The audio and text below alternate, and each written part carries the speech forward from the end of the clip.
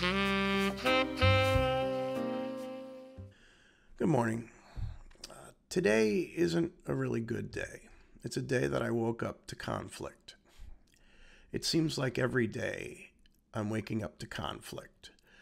Uh, I'm on the West Coast. I wake up in the morning, I pop on the TV, the social media, the news, whatever it is, and you guys are already fighting on the on the East Coast. All right. We're already fighting here on the West Coast. We just barely opened our eyes. I am really starting to get annoyed by you. You, me, all of us.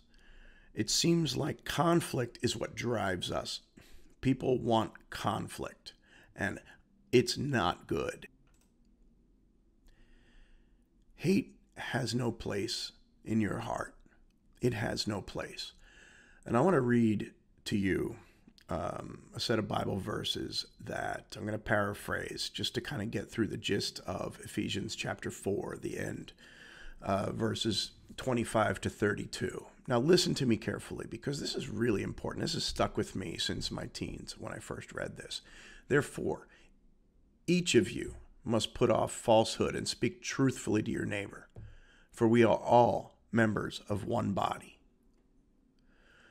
Do not let the sun go down while you are still angry, and do not give the devil a foothold. Get rid of all bitterness, rage, and anger, brawling and slander, along with every form of malice. Be kind and compassionate to one another, forgiving each other. And I don't care if you're, oh, I'm not religious or this or that, and I don't believe in the devil. You know what? Then think of the devil as whatever evil force you want to. Whoever your enemy is, he wants us to fight. He wants you to be in conflict, okay? Every single day I wake up to conflict and I'm really getting sick of it. I don't care. You're fighting for your rights, that's one thing. You're fighting to take away other people's rights, to keep them from getting rights that they've deserved for the last, you know, half a millennia. Um, then that's something you have to examine. But wake up. Just, I challenge you, wake up tomorrow morning and just refuse, refuse conflict. When it comes your way, just leave. Just leave the room. Do not succumb to it. Don't give the devil a foothold. Your enemy wants us to fight. He wants you to be in disarray. Okay? All right. That's it. That's it. That's all I wanted to talk about today. This is really important, guys. I don't know. I'm speechless. I'm speechless. On second thought, I decided not to end on such a sour note.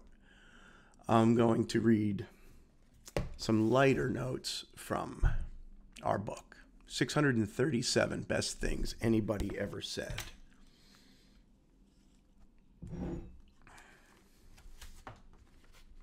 Gloria Steinem, 460. Logic is in the eye of the logician.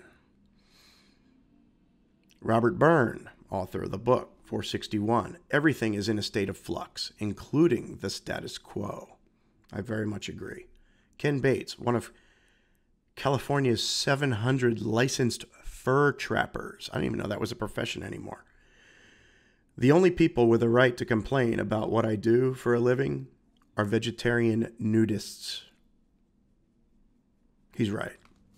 463, unknown. I'm trying to arrange my life so that I don't even have to be present. Sounds like me.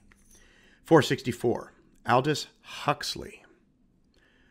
To travel is to discover that everyone is wrong about other countries. All right, Irma, Erma Bombeck's father. This is the lightest one of the day. 466.